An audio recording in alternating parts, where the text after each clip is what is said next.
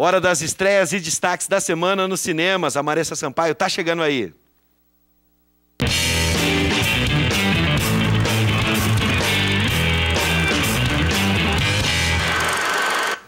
Boa noite, gente. Vamos começar falando de uma continuação de Jurassic World, que já está em pré-estreia, na verdade tem algumas semanas, mas agora chega oficialmente às salas, em mais salas do que já estava.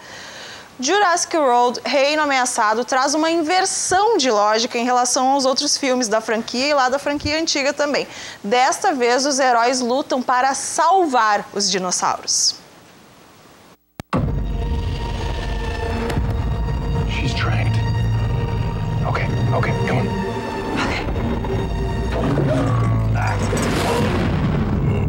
Are you okay? I'm okay.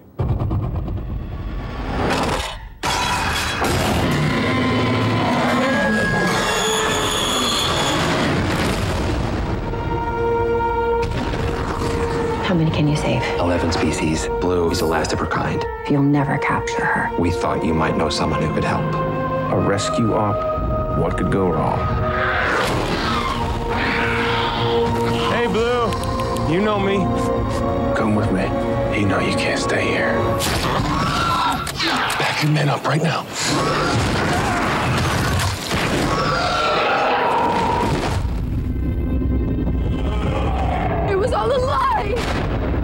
Man who proved raptors can follow orders. You never thought how many millions a trained predator might be worth? They're gonna sell them. Not blue. They need it for something else. What is that thing? They made it. This is the most dangerous creature that ever walked the earth. I say we shut this whole thing down. Hey, girl. You think what I'm thinking? Genetic power has now been unleashed. You can't put it back in the box.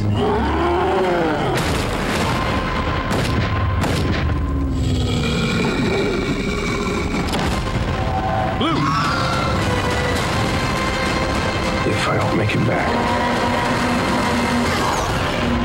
remember you're the one who made me come here. I'll be all right.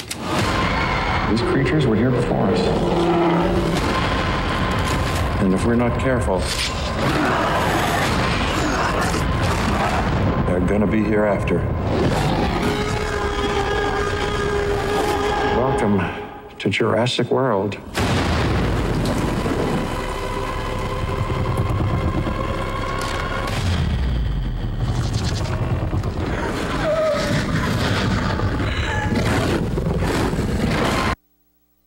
Daqui a pouquinho a gente vai falar um pouco mais sobre o universo Jurassic Park e falar sobre o legado que lá os filmes dos anos 90 deixaram. Mas, primeiro, uma dica sobre um filme que está gerando bastante polêmica. O longa se chama Desobediência e traz a história de Ronit. A gente tem aí imagens, vamos passando imagens então. Que é uma mulher que precisa retornar à comunidade judaica ortodoxa da qual ela foi expulsa. Então ela volta em função da morte do pai, que é rabino. E neste retorno, a Ronit encontra uma amiga de infância com quem viveu um romance proibido. O detalhe é que essa amiga que ela encontra agora é casada com o irmão dela, ou seja, a cunhada. Como vocês estão vendo aí, a gente está mostrando algumas cenas do filme, é bastante controverso pela, pela questão da religião e traz grandes atrizes como a Rachel Weisz, que já ganhou o Oscar, inclusive, e a Rachel McAdams, que já foi indicada ao Oscar recentemente por Spotlight. Tá, então, temos aí então as cenas do filme. Bom, gente, agora volta pra cá, que eu vou ter que chamar o Beavis aqui, porque sempre tem esse tipo de filme, eu chamo o Beavis, que é filme de terror. É que o braço é curtinho, não. Eu pensei que tu ia falar do, do Jurassic Park. Ah, né? mais tarde. Mais tarde? Mais tarde. Não largam o osso, literalmente, tá? Não largam o osso Não largam o fóssil. Não largam o osso, temos que. Vamos conver, convir. Não largam o osso porque o último filme lançado é a terceira maior bilheteria. Era a terceira maior bilheteria de todos os tempos até há pouquinho atrás, então. Tá bom, dona Marisa. Então por que, que eles vão largar o osso, né? Essa última cena, depois, a gente vai comentar de novo depois, então eu falo Vamos, depois. vamos por comentar daqui a pouquinho Pra que tu me chama pra filme de terror? Tu é sádica? Porque eu que tenho odeio? medo Eu de assistir detesto. sozinha. Aí eu Eu não- Duas pessoas com medo é melhor Eu que tenho medo uma. de assistir sozinha. Eu tenho medo de assistir. Seja lá com quem for. Pode ser com o boy junto, com o batalhão de operações especiais. O Bop eu não vou querer ver esses filmes. Pronto. Mas o trailer tu vai ver. Ah, sou obrigado, eu sou pago pra isso. Tá bom. Então é dos mesmos produtores de A Bruxa, um filme que fez bastante sucesso. A gente falou aqui uns seis meses atrás um pouco mais sobre esse filme. E também hoje é o dia da polêmica, tá? Nos Estados Unidos esse filme está gerando essa polêmica porque Pois está que? sendo amado pela crítica, colocado lá no hall de quase um novo exorcista. Tá. Só que o público está detestando, se sentindo enganado e tal. Eu sei por quê, mas é óbvio, né? Por quê, como diria a Gabriela, como é que é a Marília Gabriela? Por quê? Por quê? Eu vou te explicar por quê. Porque os especialistas e críticos amam filmes de terror. Então eles vão adorar. O público acho que já não gosta mais tanto. Pra Eu mim, achava que era- normalmente é o contrário. É? Normalmente os críticos torcem o nariz pra filme de suspense e terror e o público ama. Hum, tá bom. Tá, vamos ver o trailer pra ver o que, que dá pra tirar daí, nossas conclusões. Ah, O filme se chama Hereditário e traz a história de uma família que, após a morte da avó, passa a viver sob a influência sombria dela. O problema maior é com a neta adolescente. Veja só.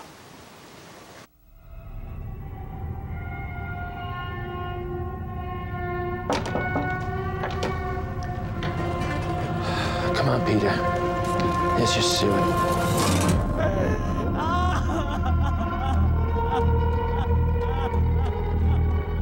It's heartening to see so many strange new faces here today.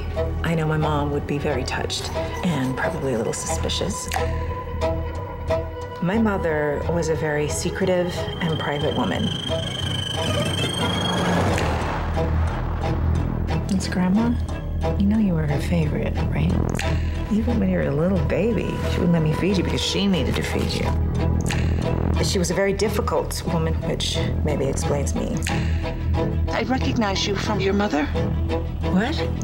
Sometimes I swear I can feel them in the room.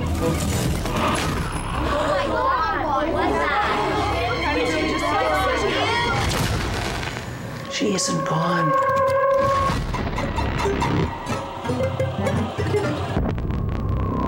She had private rituals, private friends. Gonna take care of me? You don't think I'm gonna take care of you? But when you die, she wasn't altogether there. At the end.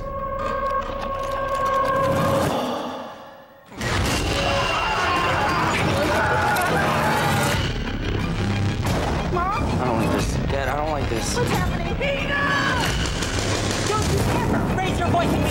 I am your mother! Please stop! Mom, what's happening? Stop! Stop! I just don't want to put any more stress on my family.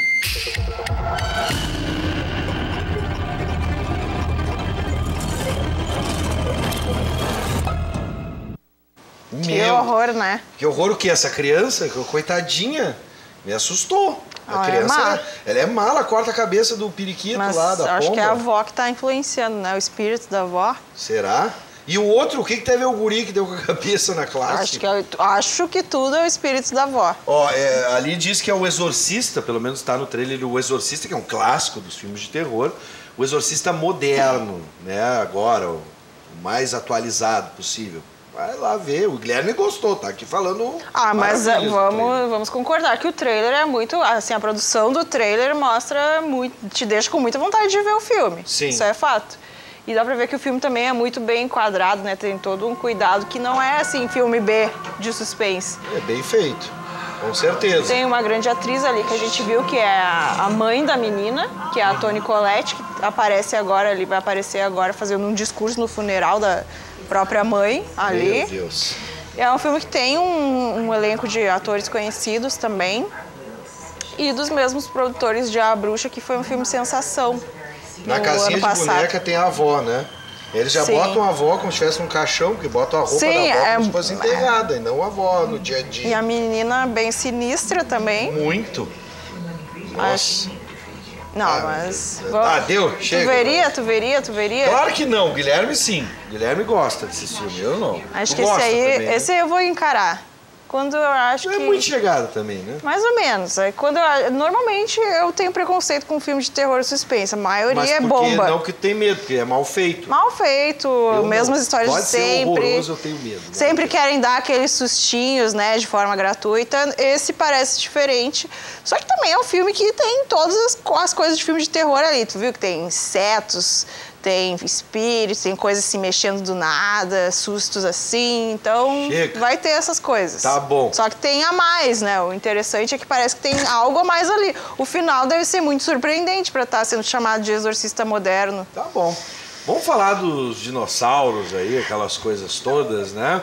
Eu, do Jurassic Park, não largam o osso, mas tu já justificou, tá rendendo. Os caras estão conseguindo uma boa bilheteria. Eu, até, até, eu vi o dinossauro num quarto. Eu vi isso no trailer. A criança dormindo e entra um dinossauro no quarto da criança. Sim, entra. E agora tu quer que eu durma de novo. Não, olha só, Bibs.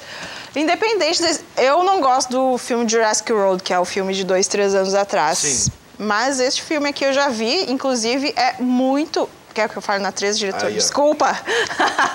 é um filme, assim, bem diferente do primeiro. E querendo ou não, essa coisa de os dinossauros serem salvos é algo novo dentro da franquia, né? Normalmente as pessoas estão fugindo dos dinossauros. Sim. Então lá tem uma relação de amizade com uma das dinossauras e tal. Então é bem bonitinho. Eles vão Eu gostei. evitar uma segunda extinção dos dinossauros, é isso? É isso. Exatamente isso. E você sabe que o Jurassic Park deixou um legado imenso para a cultura pop em geral, isso é inegável. O filme né, é uma criação do Steven Spielberg. Muitos meninos, meus primos, por exemplo, amavam brincar de dinossauro. Por quê? Por causa de Jurassic Park. Né? Verdade. Popularizou os dinossauros. Spielberg sempre faz isso, né? Uma hora é o ET, outra hora os dinossauros. Ele sempre traz temáticas e populariza, né? De forma que Os tome professores conta. piram naquela. Hoje a gente vive muito a era do projeto. Eu tô lembrando arqueologia com o Indiana Jones, né? Agora paleontologia com Jurassic Park e assim é, ufologia com o ET e assim ele vai pirando nos E projetos. trazendo essas questões científicas, né? Porque ele faz Exato. muito filme de ficção científica mesmo, para a cultura pop. Isso, e as genética, pessoas e, nesse é, caso, né? E as pessoas vão se popular, vão se familiarizando com termos de ficção científica, com nomes de dinossauros. Clonagem, entre outras coisas, né? Mas tudo bem. O que, que o Spielberg preparou? Então, a gente tem uma entrevista com o Steven Spielberg falando sobre o legado de Jurassic Park. Vamos ver. Can't believe it 25 years since we made Jurassic Park, but they tell me it is, so I'll believe them. How'd you do this? Michael Crichton figured out how to bring dinosaurs back to life in the 20th century, and he did it through science. It changed my life, and I think it changed his. And that was the beginning of evolving Jurassic Park into a film. Welcome to Jurassic Park. The moment that brought this home for me as a filmmaker was when the T-Rex started to attack two modern Ford Explorers. And you saw the modern world and you saw the prehistoric world meeting up 65 million years later. To me, that's when I really felt we had captured lightning in a bottle.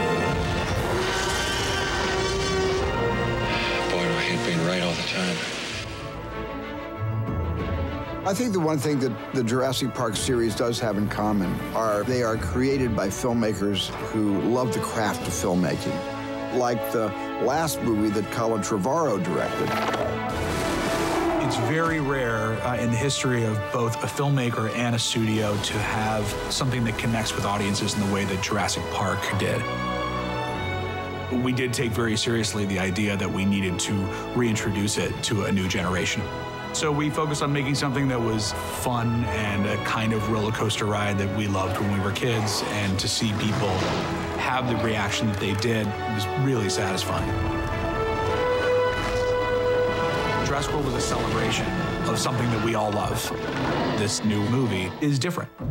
This movie is pushing something that we know forward into the future.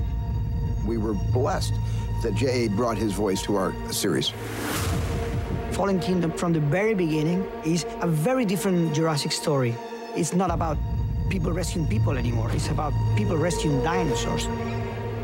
The whole movie is about empathy and empathy towards the dinosaurs. Easy, girl.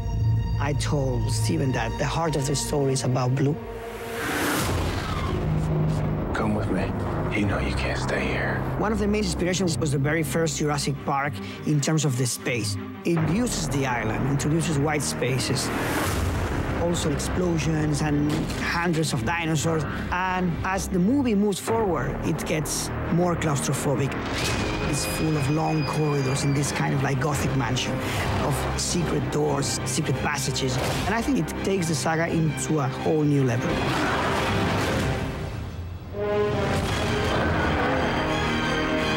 J.A. did an amazing job through his craft in being able to make a movie a little bit like the first movie I directed, but he found a way to make it his own Jurassic World. And it just brought me way back to the very beginning.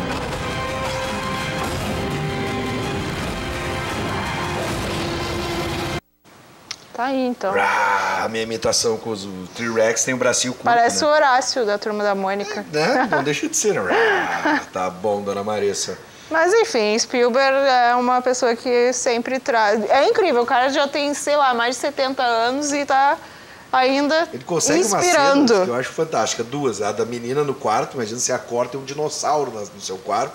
E do surfista dropando uma onda maravilhosa e o dinossauro correndo. Sim, mas no ET também tem essas cenas assim de da reação ao ET totalmente inusitado, né? Nos lugares menos esperados. Imagina, tu tá ali dropando em cidreira e me vem um T-Rex ou coisa similar. Né? Um tubarão já ia surpreender, imagina um dinossauro desse tamanho. Mas a história Marisa. desse filme, mais ou menos, do, desse novo Jurassic World, é salvar os dinossauros de uma empresa maligna, sabe? Aquelas Imagina. histórias de empresa maligna, que querem criar um, um dinossauro imbatível para vencer guerras. É o Entendeu? Godzilla. Exatamente. Lembra do Godzilla? Isso. É, isso aí. Então é bem atual também, né? Claro, o filme se atualizou bastante.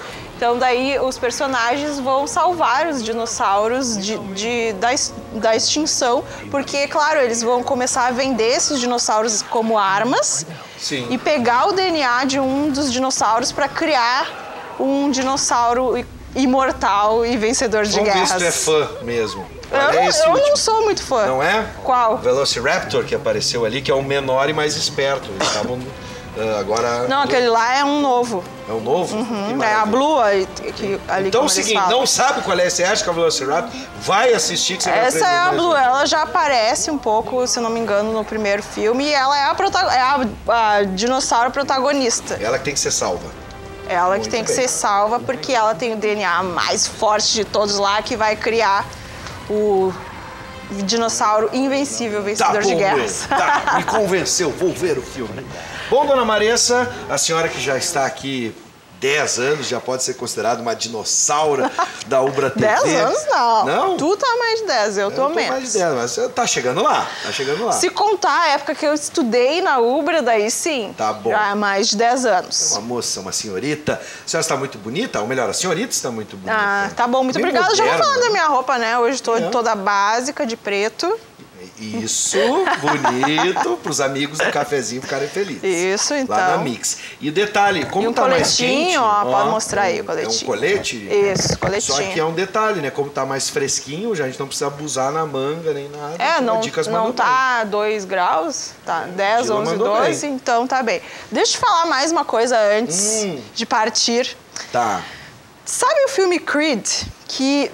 Conhece os filmes do rock? Tá. O rock Apollo 1, 2, Creed. 3, 4, 5, 6, Rock Bamboa. Bamboa é ótimo. Bamboa. Isso, essa é a Rock versão Balboa. brasileira. É. O Rock, Rock Balboa. Balboa. Isso.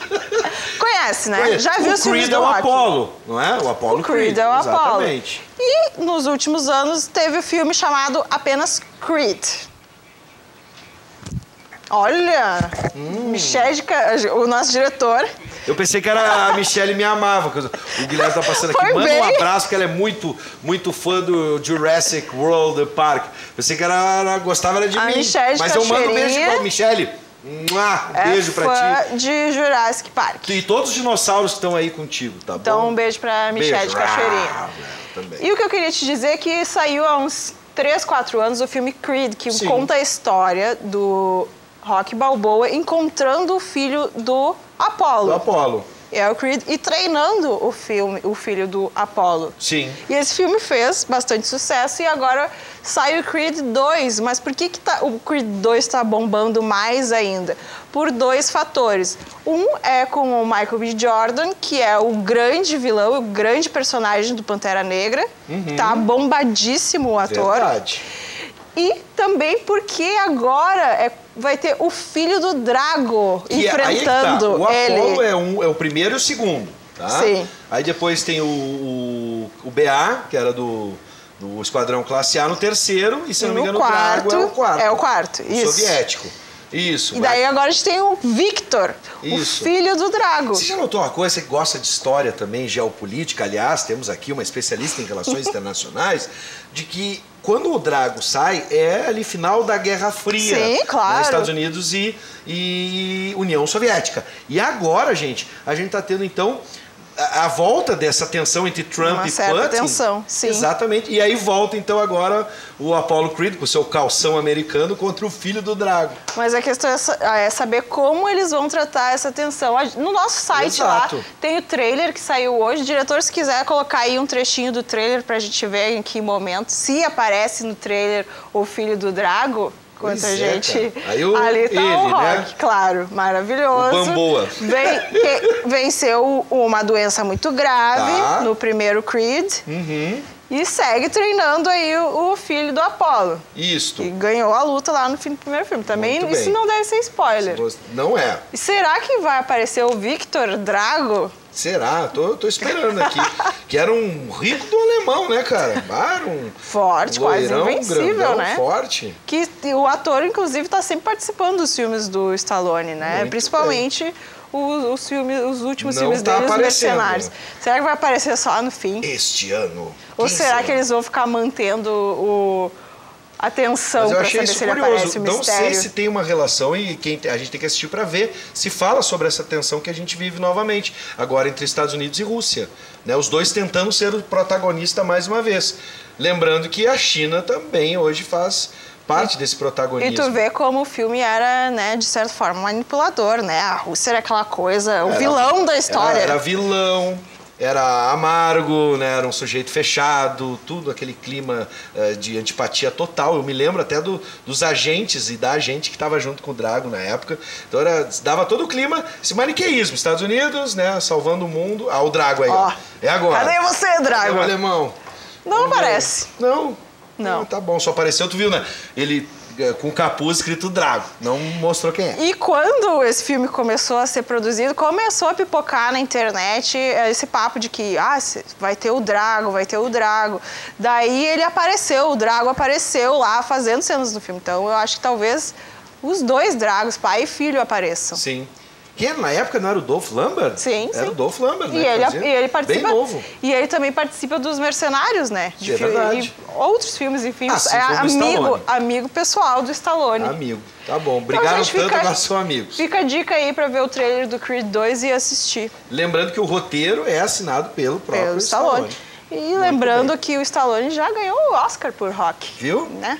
Viu? Há Fala mal anos. agora. Fala mal agora. né? Que é o preconceito com o Stallone já ganhou o Oscar. Grande ator. Quem fala mesmo. mal dele já ganhou o Oscar? Eu só lembro dele no filme Stallone Cobra, numa das, uma das cenas melhores que eu já vi na minha vida em, em dublagem, porque toda a apresentação do Stallone Cobra, né, aquela coisa toda, ele tá num tiroteio, daí ele começa a falar no alto-falante, você, aquele xingamento, você é isso, você é aquilo, ele, você é um totô. E ele fala exatamente, eu aliviei aqui, né? Totô. Eu fiquei pensando, mas quem é que. O cara é um baita policial com uma 9 milímetros na mão e vai xingar o outro, seu Totô. Nem citamos outros clássicos de Stallone, Claro, né? Mas isso é dublagem, tá, gente? A culpa é da, de quem dublou. Eu acho que naquela época não podia falar outra coisa. Não, Hoje acho que horrores. falaram outra coisa parecida. É, eles falam horrores hoje, mas naquela época não podia. Mas o Rock, Hum. é, do- de tudo que o Stallone fez, assim, a franquia Rock eu acho a melhor coisa mesmo, assim. É emocionante, te faz chorar, enfim. Não sei, tu já viu Rambo? gente, vamos falar. Quero parabenizar o Ai, pessoal da Dicas, tá a. Odila se puxou. Tu tá muito bonita, Ai, mesmo. muito obrigada. Muito bem? Posso falar do cafezinho? De- Deve? Cafezinho Ah, na Mix? Cafezinho aqui na Mix, todos os dias, né? A partir do meio-dia. Yes, tô lá, ao meio-dia, 107.1 FM, pra você curtir lá e ouvir poucas Deixa eu e falar uma coisa. ah, lá no fim do programa a gente vai mostrar um clipe da Beyoncé com o Jay-Z e a gente vai mostrar ele quase inteiro. E presta atenção nesse clipe, que é um clipe muito artístico e já está sendo. Aqui a gente fala de cinema, mas de audiovisual em geral, né? Sim. Já está sendo cotado para ganhar todos os prêmios aí. É uma crítica deles e é gravado dentro do Louvre. Ó, detalhe, né? Você sabe que Jay-Z e Beyoncé são um casal. E o disco, será que é um disco romântico? Não sei, a gente vai saber mais no próximo bloco, pode ser? É um disco que tem crítica social, como tudo que eles fazem. Mas tem a palavra amor ali na jogada. Exatamente. Então vamos ver que tipo de amor eles estão e falando. vamos mostrar o clipe. Tá bom.